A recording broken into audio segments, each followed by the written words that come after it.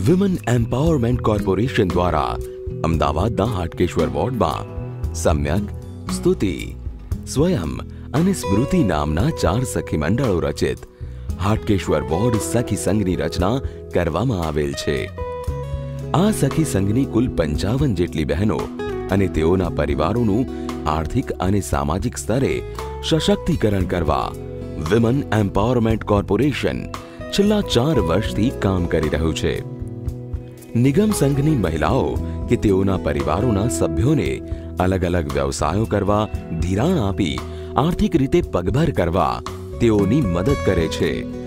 Hatkeshwar ward સખી સંઘના પ્રમુખ શ્રીમતી રાહેલબેન મંગળભાઈ વણકર નિગમ દ્વારા મળેલ આર્થિક સહાય દ્વારા સિલાઈ કામ કરીને પરિવારને અને સંઘની મહિલાઓને અને તેઓની તમામ સમસ્યાઓમાં ખડે પગે ઊભા રહી મદદ પણ કરે છે. શ્રીમતી રાહેલબેન સંઘની બહેનોને ધિરાણની જરૂરિયાત અંગે. બહેનોની સંમતિથી ધિરાણ આપવા નિગમને ભલામણ પણ કરે છે. આપણા નિગમમાંથી કોને લોન લેવી છે? લોન આપવી છે તો. આજે મારે લેવી છે. તમે સહી કરશો અમારી લોનમાં જો તમારામાં સો સો ટકા ભરવાની ગેરંટી હોય તો જ. સહી કરું તમારામાં. ના ના સો સો ટકા ભરવાની નિગમનું નામ બદનામ થવું ના જોઈએ. પદ્માબેનને લોન આપવાની છે તો બધા મંજૂર છે? રાહેલબેનની કોઠાસૂઝ, મેનેજમેન્ટ ટેકનિક અને અનુશાસનના શ્રેષ્ઠ સદગુણો થકી નિગમ દ્વારા અપાયેલ લોનના માસિક હપ્તાની સોએ સો ટકા રિકવરી થાય છે. આ ઉપરાંત વ્યસન મુક્તિ સમિતિ દ્વારા તમામ મહિલાઓને સાથે રાખી દારૂના અડ્ડાઓ ઉપર જઈ દારૂ વેચનાર બુટલેગરને તેમના વિસ્તારમાં ન ફરકવાની સ્પષ્ટ ચેતવણી આપી દારૂબંધીનો કડક અમલ પણ રાહેલબેન દ્વારા કરાવવામાં આવે છે.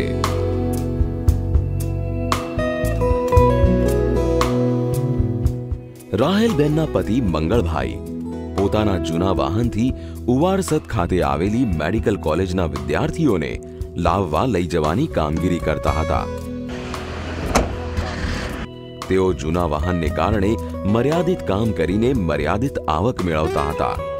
પરંતુ તેમને વિચાર આવ્યો કે જો મારી પાસે નવું એસી વાહન હોય, તો બપોરના સમયનો સદુપયોગ કરી પેસેન્જર સેવા પૂરી પાડતી ઉબેર જેવી મોટી કંપની સાથે જોડાણ કરી શકાય કે કેમ?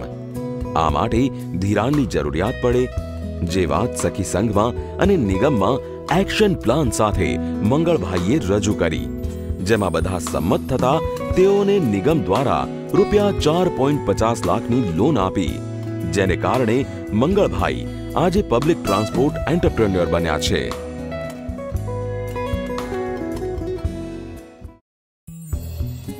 સ્મૃતિ સખી મંડળના ગીતાબેન પરમારે સિલાઈ મશીન માટેની બીજી લોન મેળવીને માર્કેટમાંથી વધુ કામ લાવીને જોબ વર્ક કરે છે. પહેલા હું છૂટક છૂટક કામ કરતી હતી, વધારે આવક થતી નથી, કોઈ કામ આપી જાય, ના આવે, તો ઘરમાં બહુ ખેંચને તકલીફ રહેતી હતી. પછી રાહેલબેનનો મને સંપર્ક થયો. એમણે મને લોન અપાઈ અને એમાંથી મેં પછી પોતાનું કાપડ લાવીને સીવીને વેચવાનું બહેનોને આપવાનું ચાલુ કર્યું.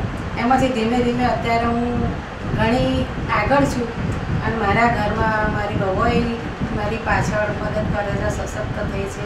અત્યારે બહાર નીકળે છે અને એમાંથી અત્યારે ઘણા અમે સુખી છીએ. આ વેક સંસ્થા જે અમને અત્યારે આ લોન આપી, આપીને અમને સશક્ત કર્યા છે, અત્યારે અમે ખૂબ આગળ છીએ એનાથી. એટલા માટે હું એ સંસ્થાનો એક નવો આભાર માનું છું.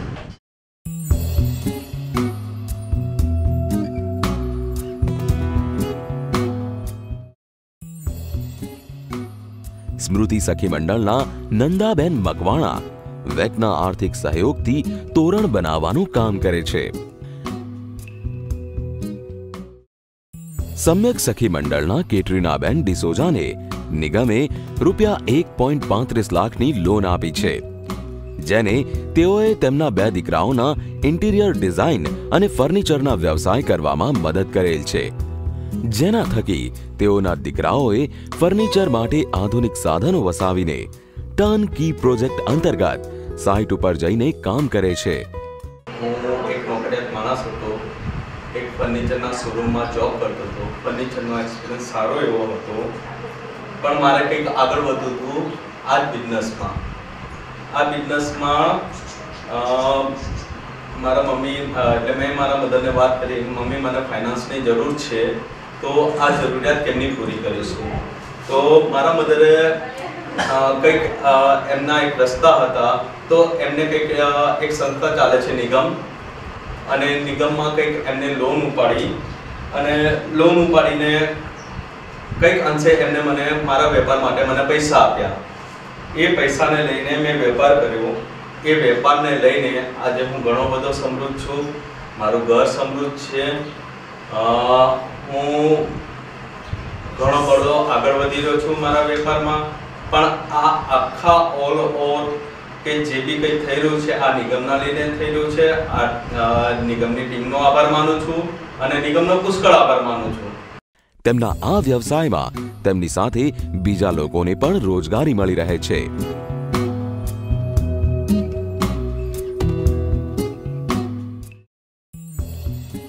શ્રીમતી સાધનાબેન બેરાગી દુપટ્ટામાં લેસ લગાવવાનું તેમજ વિવિધ રાજકીય પાર્ટીઓનું જરૂરી મટીરીયલ બનાવવાનું કામ કરી અલગ અલગ સખી મંડળની બહેનોને કામ આપે છે. જ્યારે સખી મંડળની અન્ય બહેનોએ વિવિધ વ્યવસાય માટે લોન મેળવી આર્થિક ઉપાર્જન કરી રહી છે, જે થકી તેઓનું આર્થિક સ્તરે સશક્તિકરણ થયેલ છે. જેથી કેટલીક બહેનોએ શાહુકારોના માસિક દસ ટકા વ્યાજમાંથી મુક્તિ મેળવેલ છે અને આ મુક્તિએ એમને જીવન જીવવાની રાહ ચીંધી છે.